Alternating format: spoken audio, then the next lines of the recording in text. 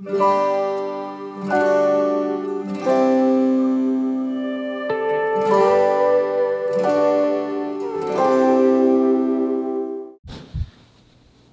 that's one way to make an entrance. Tell me, how long have you been an escort?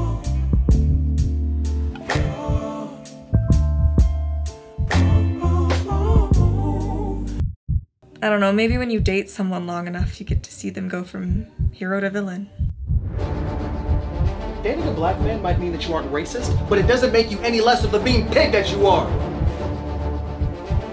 Karen. Who are you calling Karen?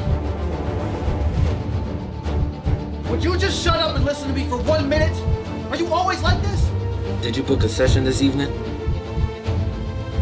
Cause good Christian women like dick too.